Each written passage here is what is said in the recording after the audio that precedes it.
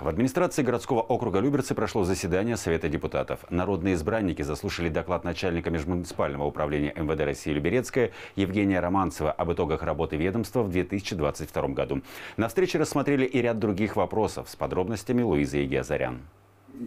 Межмуниципальное управление МВД России Люберецкая обслуживает четыре городских округа. Самая большая территория – Люберцы. Количество преступлений, зарегистрированных в прошлом году, на 17% больше, чем в 2021. К уголовной ответственности привлечено более 1900 человек, которые совершили тяжкие и особо тяжкие преступления. Наибольший рост зарегистрированных преступлений отмечается на территории Ухдомского отдела полиции, где самое большое количество населения – это Малаховского отдела полиции, отделов, где также прирост населения в деревнях произошел благодаря предупредительным мерам. Сократилось количество фактов умышленных причинений вреда здоровью на 13%, грабежей на 14%. В своем докладе Евгений Романцев отдельно остановился на теме дистанционного мошенничества. Несмотря на предупреждения, люди продолжают идти на поводу злоумышленников. Вот последний факт – это в Ухтомке 4 миллиона бабушка передала мошенникам за своего внучку.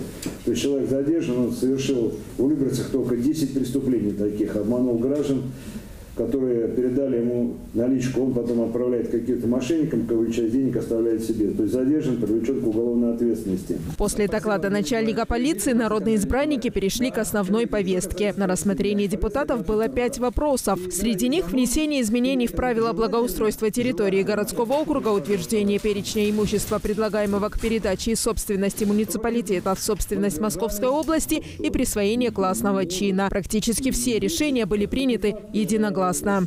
Луиза Игиазарян, Сергей Гвоздев, телеканал ЛРТ.